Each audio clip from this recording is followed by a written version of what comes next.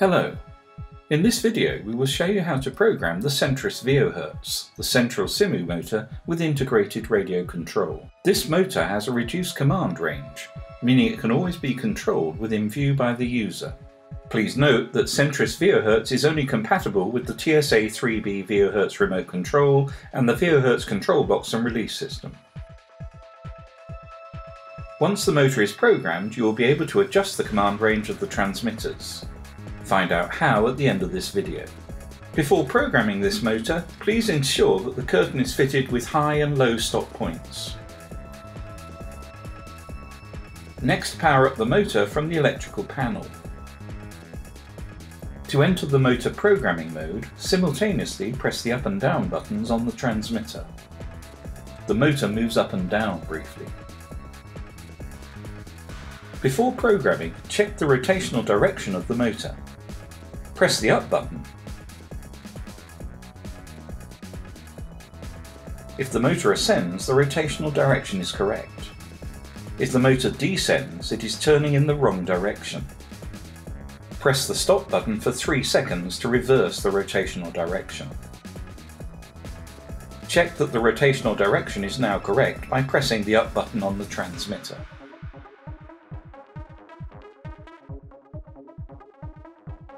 Now set the lower end limit.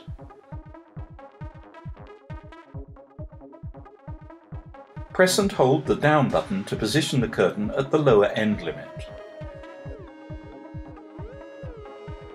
Validate this position by simultaneously pressing the up and stop buttons on the transmitter. The motor moves up and down briefly.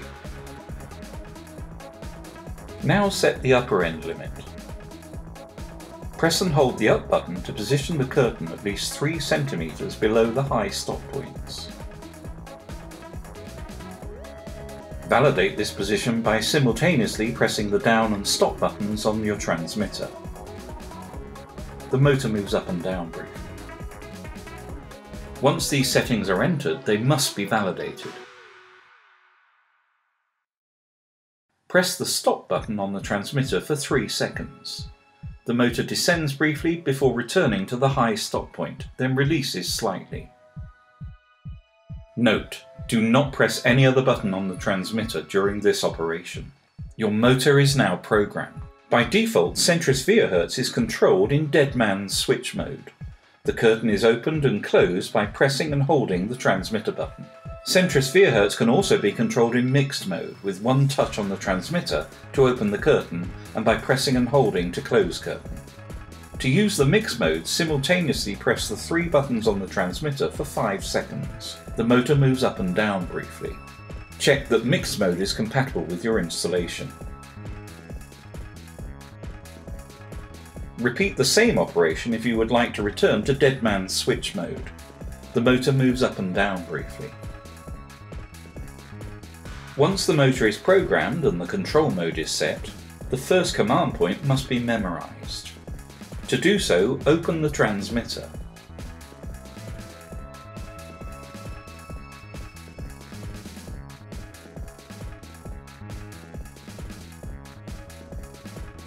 Then press the programming button for one second. The motor moves up and down briefly.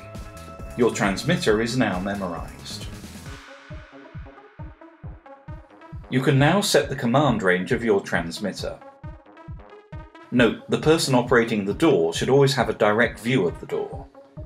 It is the installer's responsibility to ensure that the command range of the transmitter allows for command within the line of sight. The command range can be adjusted to four available levels, from 1 to 4. Level 1 being the shortest range and level 4 the longest range. By default, your transmitter is set at level 2. If the range is suitable, ignore this adjustment step. If the range is too short or too long, it can be increased or decreased, but be careful, always ensure control within the line of sight. First position the curtain at mid-height, then simultaneously press the up and down buttons for 5 seconds. The motor moves up and down briefly. Now to increase the radio range, press the up button once to switch to level 3. The motor makes three half-second rotations. You now have 15 seconds to validate your settings by pressing the prog button on the transmitter for 1 second. Try manoeuvring the curtain to test the new range. If it is right, the setting is complete.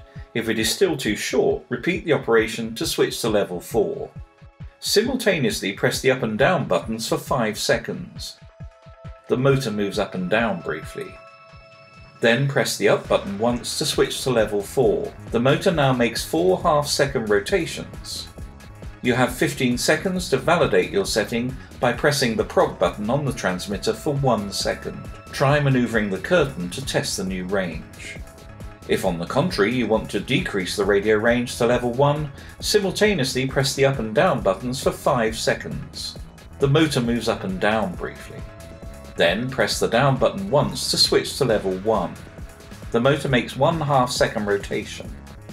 You have 15 seconds to validate your setting by pressing the prog button on the transmitter for 1 second. When you switch from one level to another, the number of half second rotations made by the motor corresponds to the number of the level at which you set the transmitter. Your Centris veoHz motor is now programmed and your transmitter set for command within the line of sight, secured and compliant. Take a look at our other videos on Centris veoHz to check and set partial opening of the curtain, add a new transmitter or remove one, modify and limit settings, or cancel all programming and motor settings.